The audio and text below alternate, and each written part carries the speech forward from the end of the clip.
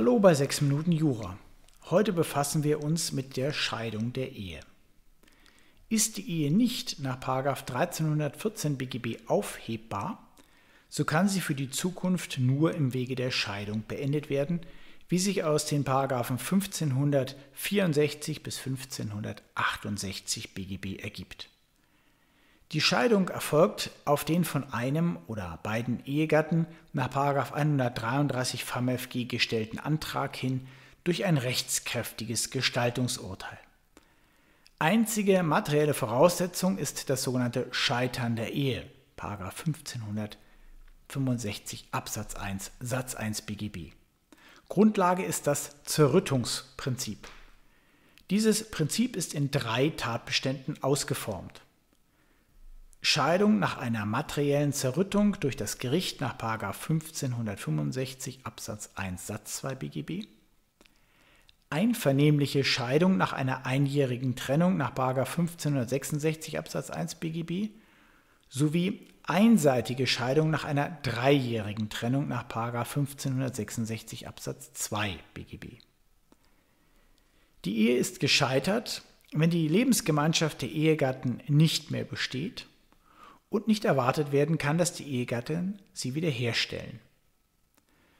Nur wenn keine der beiden bindenden Zerrüttungsvermutungen wegen erfolgter ein- bzw. dreijähriger Trennung vorliegt, ist dieses vom Gericht von Amts wegen mittels einer Analyse- und Prognoseentscheidung festzustellen.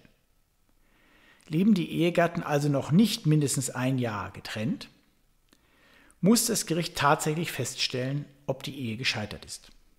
Dazu darf die Lebensgemeinschaft die Ehegatten nicht mehr bestehen, sogenannte Analyse, und die Wiederherstellung ihrer Lebensgemeinschaft darf nicht mehr zu erwarten sein, sogenannte Prognose.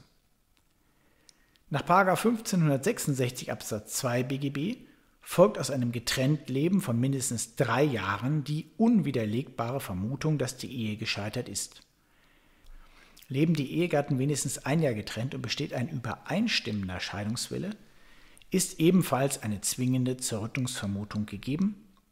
Dies folgt aus 1566 Absatz 1 BGB. Der Schlüsselbegriff ist also das Getrenntleben.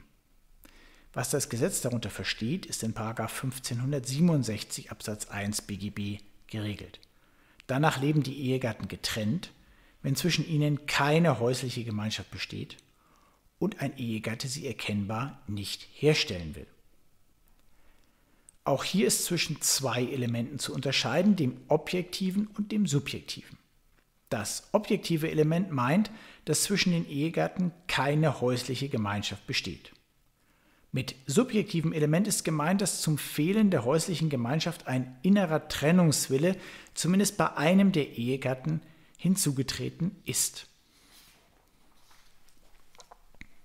Zu beachten ist ferner die sogenannte Härtefallscheidung nach 1565 Absatz 2 BGB. Sie greift ein, wenn die Fortsetzung der Ehe bis zur Erfüllung des Trennungszeitraums von einem Jahr für eine der beiden Seiten eine unzumutbare Härte darstellt. Umgekehrt existiert eine Härteschutzklausel in Form des Paragraphen 1568 BGB.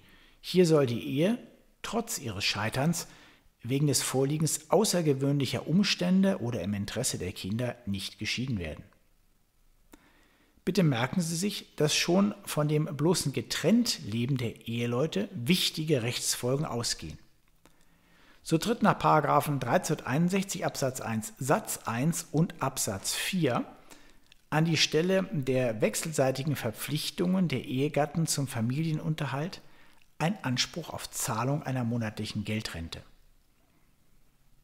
Diese Geldrente orientiert sich nicht mehr an dem Familienunterhalt, sondern ist auf den angemessenen Lebensbedarf des unterhaltsberechtigten Ehegatten gerichtet. Auch können schon jetzt Hausratsgegenstände und die Ehewohnung verteilt werden. Paragraphen 1361a und 1361b BGB. Ferner entfallen die Regeln zu den Geschäften zur Deckung des Lebensbedarfs, vergleiche 1357 Absatz 3 BGB und die Eigentumsvermutung nach 1362 BGB. Grundsätzlich führt das bloße Getrenntleben der Ehegatten nicht zu einer Veränderung des Sorgerechts bezüglich gemeinsamer Kinder. Allerdings kann das Familiengericht die elterliche Sorge nach 1671 Absatz 1 BGB auf Antrag einem Elternteil ganz oder zum Teil allein übertragen. Kommt es schließlich zur Scheidung, hat dies vielfältige Folgen. Neben dem Zugewinnausgleich der Paragraphen 1372 folgende BGB ist an den Unterhalt des geschiedenen Ehegatten, Paragraphen 1569 folgende, den Versorgungsausgleich, Paragraphen 1587 folgende oder an die Verteilung von Ehewohnung und Hausrat nach Paragraphen 1568a und b zu denken. Ferner kann die Scheidung Auswirkungen auf den Nachnamen haben, Paragraphen 1355 Absatz 5 BGB. Das war Ihr Film aus der Reihe 6 Minuten Jura zur Ehescheidung. Ich bedanke mich für Ihr Interesse. Noch mehr können Sie lernen, wenn Sie jetzt diese Fragen beantworten. Handelt es sich beim Scheidungsrecht um zwingendes Recht oder können die Ehegatten hiervon vertraglich abweichen? Ist ein getrennt Leben in der gemeinsamen Ehewohnung möglich? Welche Fälle erfasst die Härteklausel des 1568 BGB? Wann ist eine sogenannte Härtefallscheidung nach 1565 Absatz 2 BGB möglich? Sie sollten die Fragen zunächst für sich selbst beantworten und dazu auf Pause drücken, sonst folgen in einigen Sekunden die Antworten. Und hier die Antworten. Bei den Paragraphen 1564 folgende BGB handelt es sich um zwingendes Recht.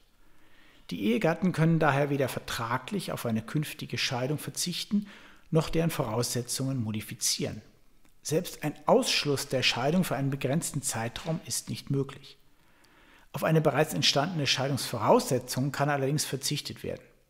Eine Scheidung ist dann erst wieder möglich, wenn ein Scheidungstatbestand neu erfüllt ist. Ja, auch innerhalb der gemeinsamen Wohnung ist ein Getrenntleben möglich, wie 1567 Absatz 1 Satz 2 klarstellt. Dann muss es aber tatsächlich zu einer vollständigen Trennung innerhalb derselben Wohnung kommen. Die Vorschrift enthält zwei Härteklauseln. Einerseits die Kinderschutzklausel und andererseits die persönliche Härteklausel. Die Kinderschutzklausel stellt eine wegen 127 Absatz 1 FAMFG von Amts wegen zu berücksichtigende Einwendung dar.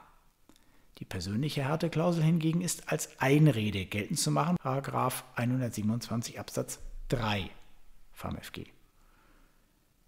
Damit das grundsätzlich erforderliche Trennungsjahr nicht unterlaufen wird, sind an diese Scheidung strenge Anforderungen zu stellen. Voraussetzung ist, dass die Fortsetzung der Ehe für den Antragsteller aus Gründen, die in der Person des anderen Ehegatten liegen, eine unzumutbare Härte darstellen würden. Diese unzumutbare Härte muss sich auf das Eheband als solches beziehen, also auf das weiter miteinander verheiratet sein.